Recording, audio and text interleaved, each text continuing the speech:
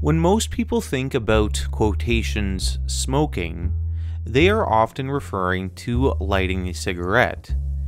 And yet, this is not the only type of smoking that is bad for you.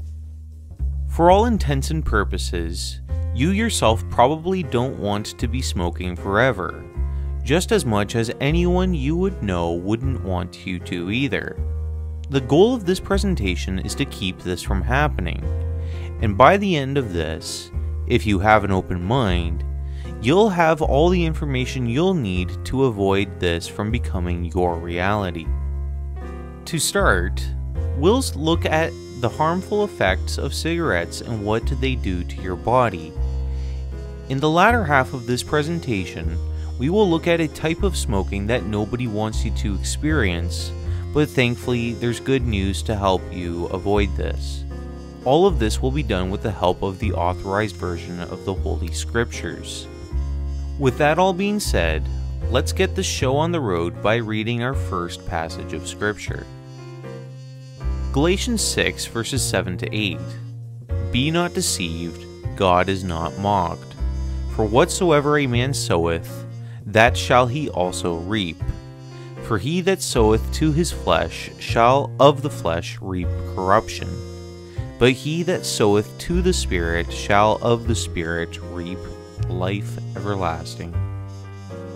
Let's just talk about the practical effects of cigarettes and the like for a moment. The idea of putting smoke from any substance in your lungs is far from natural and is poisoning your mind and body.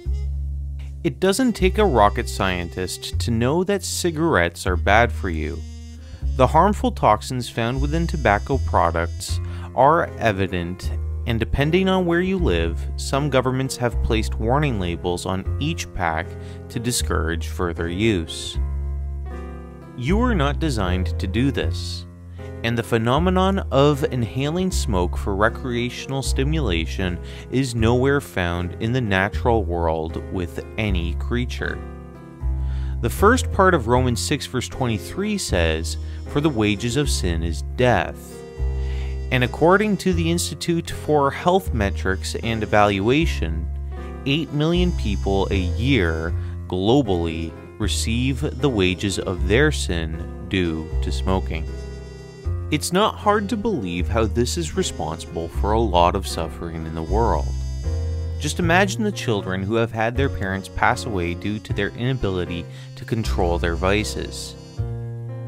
Now, since we have discussed the effects of cigarettes on your body, it is now time to move on to the second part of this message, which is to warn you about smoking. And no, not tobacco, but something much more terrifying, which comes not only as a result of poisoning your body with said substance, but comes after a life of various destructive behaviors. Let's read this passage to help clarify which quotations smoking is being referred to. Revelation 14, verse 11 And the smoke of their torment ascendeth up for ever and ever, and they have no rest day nor night. Hell is a place reserved for all those who are found guilty of sin which is the lake of fire initially prepared for the devil and his angels.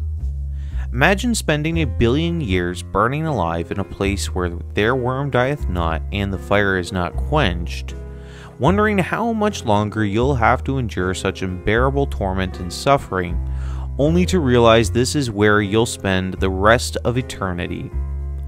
This judgment doesn't come, however, from just smoking cigarettes as other sins also cause eternal separation from God.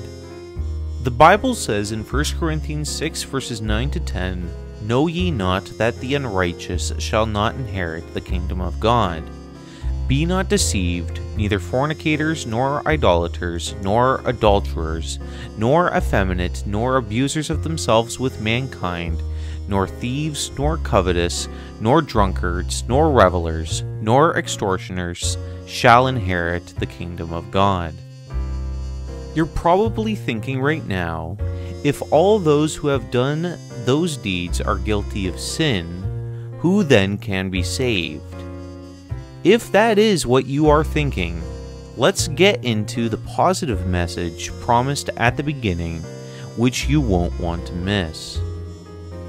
Romans 10, verse 9 That if thou shalt confess with thy mouth the Lord Jesus, and shalt believe in thine heart that God hath raised him from the dead, thou shalt be saved. We already read the first part of Romans 6, verse 23, but the whole verse says, For the wages of sin is death, but the gift of God is eternal life through Jesus Christ our Lord. God doesn't want to see you smoking in hell. He even loved you so much that he came down to earth, lived a sinless life among us, and paid for the wages of sin in full on the cross for whosoever should believe in him. At this time, the salvation of God comes now only by grace through faith and not of works, according to the Word of God. If you go to hell, it wouldn't be because you weren't good enough, as you wouldn't have even needed to have gone in the first place if you had just accepted the gift that God offered you. You don't need to be sinlessly perfect to go to heaven, but through faith, God will not only save your soul, but will move into your life and, in time, remove the very things that are destroying you, like smoking. Cigarettes stink, metaphorically and literally, but that doesn't have to be something you need to be a slave to the rest of your life. You might still have this addiction after receiving this message but at least you know now how to avoid smoking forever.